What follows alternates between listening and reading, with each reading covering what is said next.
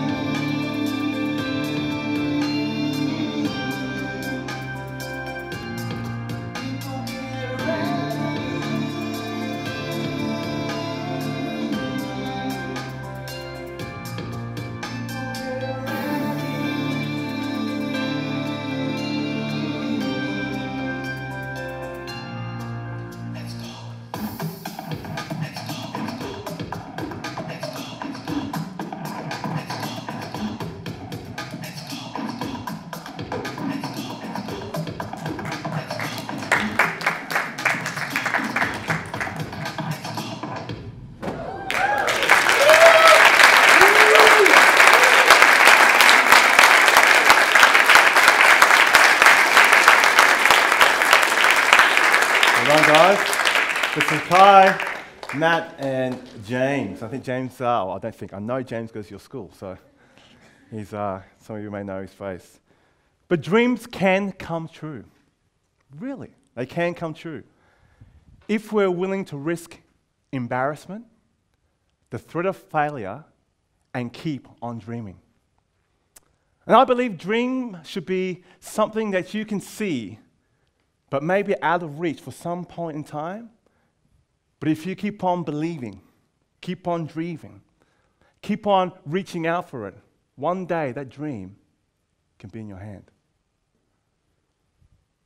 Just like Duncan shared, dreams have been with us since the existence of mankind.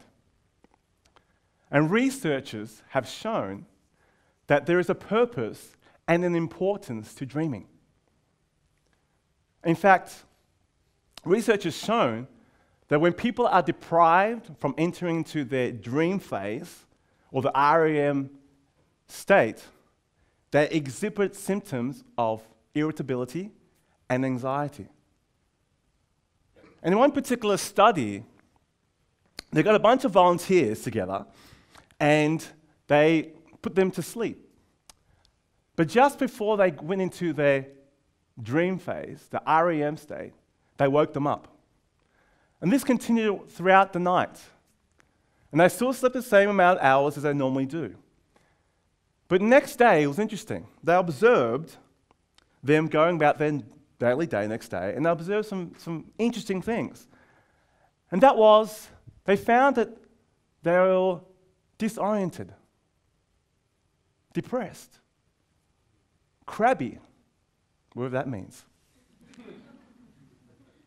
and even became quick tempered. And I found that as the study went on over several nights, the more the subjects became more and more agitated. And they concluded that what they found was deprivation of REM sleep causes, come in, lateness? No, it causes, it causes, it causes, uh, I lost my.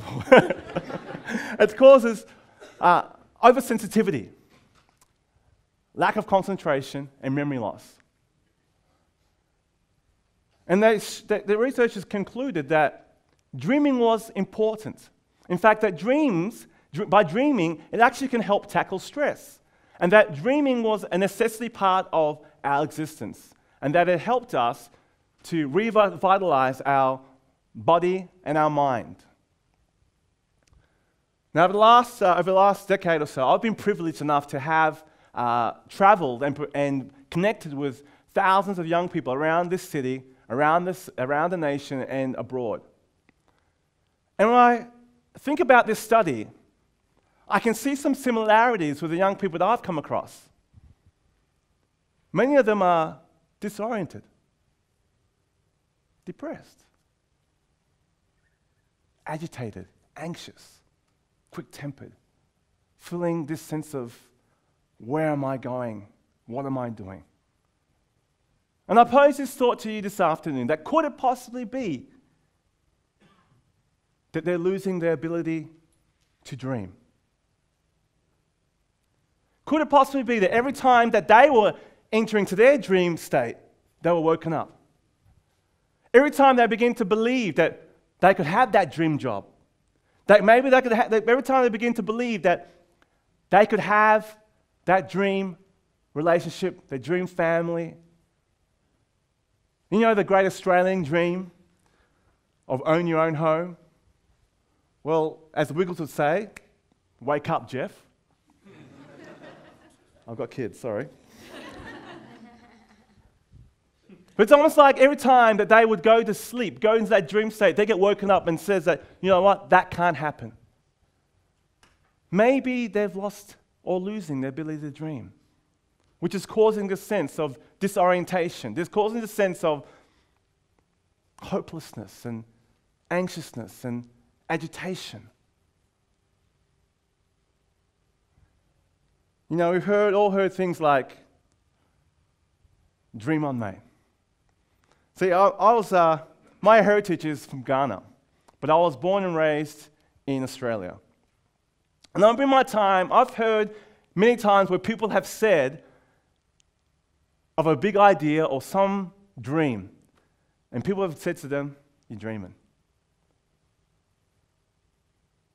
It's almost like we got a bit of Dale Kerrigan from the castle in us. You know? Dad, ergonomic chairs. Four of them. How much? 180? Dreaming. Dad, 450. For jouster sticks? Tell him he's dreaming. Dad, I want to be a pro surfer. In Canberra? dreaming. But it's like that. It's almost like we tell each other, wake up to yourself. Don't dream. It's almost as if that dreaming has become this extremely dangerous act, too risky, too adventurous. And in fact, dreaming should be something that should be outlawed. Dreaming is just something that is actually a wrong thing to do, right?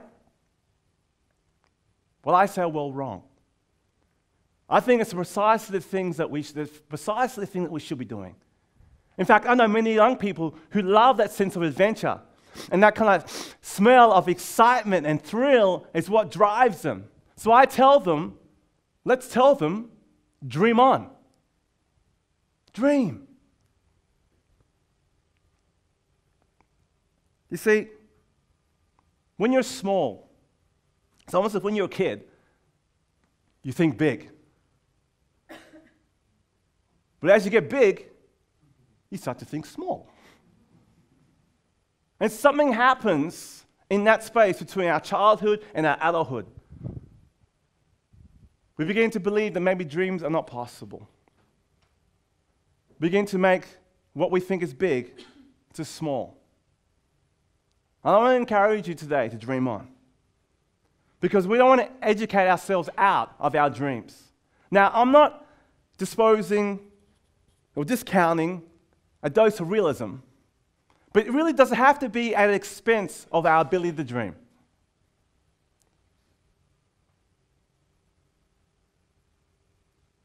You see, we don't not drive cars because of risk of an accident. We don't not get a job because you might get fired or made redundant. Just ask Kevin 07. you don't not play sport because you might not score a goal. You know, dreaming is good. It's healthy. It's good for your body. You know, in that movie Rapunzel, in that uh, Rapunzel in the movie Tangled. Anyone seen Tangled? And uh, she wants to go to see the floating lights. And on 18th birthday, she finds this, this cut story short, Flynn Rider, and uh, she gets him and says, You have to take me. And he tried to kind of discourage her by taking her to the, I think, a snuggle inn, duckling inn, where there's all these thugs and, and guys, and hopefully he could discourage her from pursuing her dream. Well, a scuffle kind of breaks out in that place, and uh, she starts getting frustrated. She could see the, the mission is starting to be diverted, and she just steps in and uh, she says, Show some humanity. Doesn't any one of you have a dream? And then she casts her cows back as a big thug comes towards her and says, I had a dream once. and being charmed by Rapunzel, she encourages these guys to follow their dreams.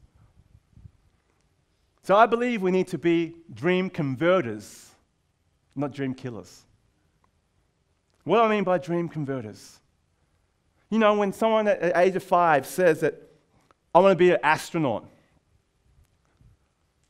we shouldn't tell them, dream on, or wake up to yourself.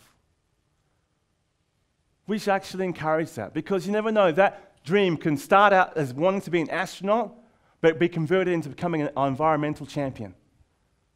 That dream could start as a young person wanting to become a rock star and, and have everyone go, You're so cool, you're so famous, to turn out to becoming a person that becomes a champion to empowering young people and telling them, You know what? You don't become somebody, you are somebody. I encourage us to become dream converters, not dream killers. You see, this reminds me of a young man who came to Canberra at the age of 15. And he had no idea that getting involved with Kulture Break, but he had this dream. Well, he pursued it, and I encouraged him. Even when his parents had said to him it wasn't going to be possible. He should stop and go to university and do that. But he had this dream. And I remember him crying and saying yes. And for the course of time, this young man went on to become uh, uh, on Australia Thinking, uh, uh, So Thinking and Dance, and then came third in Australia's Got Talent. And this year is now a judge on Australia's Got Talent himself, Tim I encourage you to follow your dreams. You see, Joseph dreamt. Martin Luther King had a dream. Susan Boyle dreamed a dream. and Jessica Watson, the 16 year old girl at the time who sailed solo around the world, on the front of the Daily Telegraph a few years ago when she came back, and said in the Daily Telegraph, I'm just an ordinary girl who had a dream.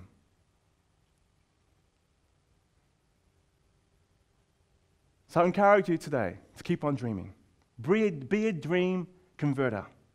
And I'll conclude my presentation my message on this. You might say that I'm a dreamer,